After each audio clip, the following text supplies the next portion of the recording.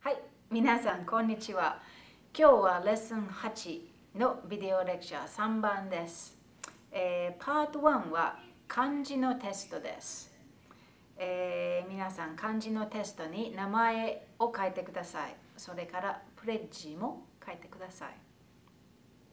えー、Section 1、えー Please listen to these sentences and then write them out in their entirety in hiragana.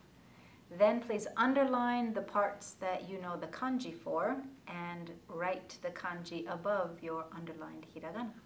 いいですか聞いてください。1番私の大学は大きくないです。もう一度。私の大学は大きくです。2番本を7冊買いました。本を7冊買いました。3番オレンジが4つあります。オレンジが4つあります。4番田中さんは小学校の先生です。田中さんは小学校の先生です。5番このコートは2万8500円でした。このコートは2万8500円でした。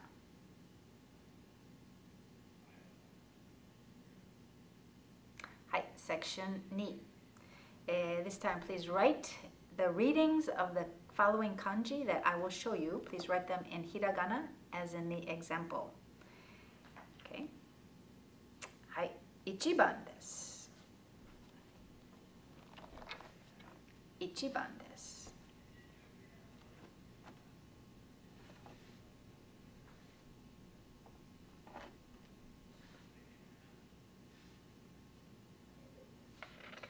2番です。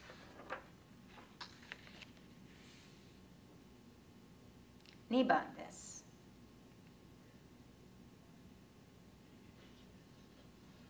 3番です。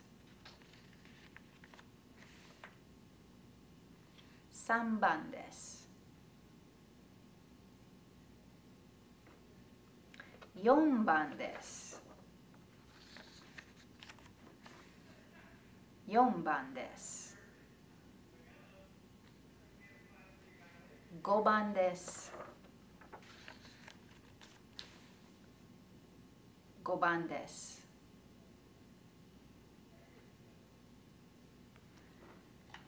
はい、終わりです。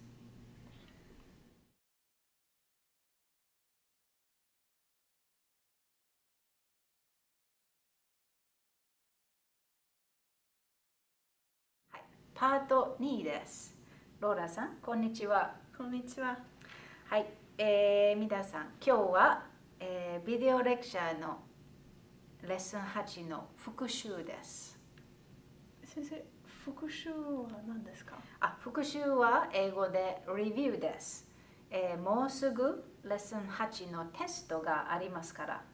ああ、わかりました。はい。じゃあ皆さん、セクション A です。えー私は verb の mas フォームを言います。えー皆さんは verb の dictionary フォームと手フォームを書いてください。いいですか ?1 番、買います。2番、出します。3番、包みます。4番、帰ります。5番、行きます。6番、します。7番、出かけます。8番、来ます。9番、書きます。10番、住んでいます。はいじゃあ皆さん、セクション B です。カウンターワーズの復習です。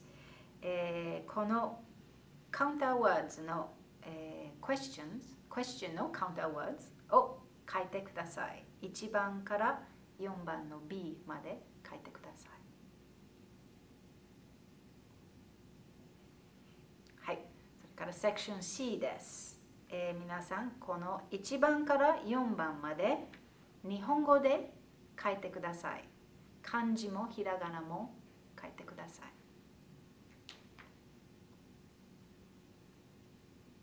はい。それからセクション D です。Math problems です。はい。皆さん、えー聞いてください。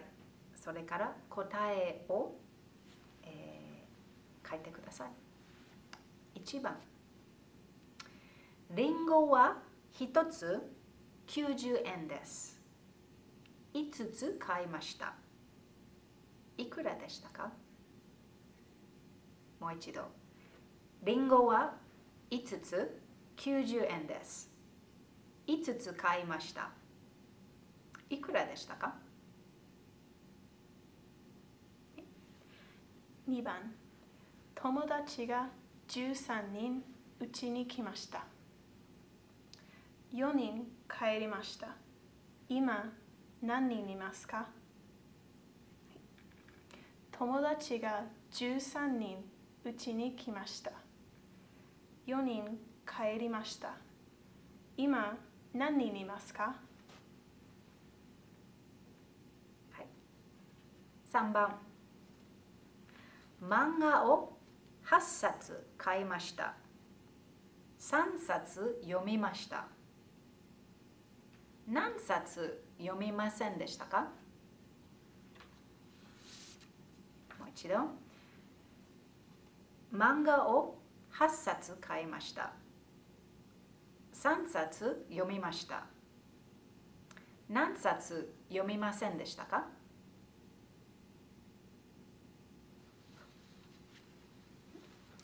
？4番テーブルの上にオレンジが6つキウイが3つ。リンゴが2つあります。じゃあ果物はいくつありますか？テーブルの上にオレンジが6つ。キウイが3つ。リンゴが2つあります。果物はいくつありますか？はい、5番です。黒い T シャツは3枚で3600円です。赤い T シャツは4枚で4000円です。じゃあ、黒い T シャツ1枚と赤い T シャツ1枚とどちらの方が高いですか？もう一度黒い T シャツは3枚で3600円です。赤い T シャツは4枚で4000円です。じゃあ黒い T シャツ1枚と赤い T シャツ1枚とどちらの方が高いですかりますかはい、じゃあ皆さん、今日の、えービデオレクチャーの終わりです。ローラさん、どうもありがとう。いいえどういたしましてはい、皆さん、さようなら。さようなら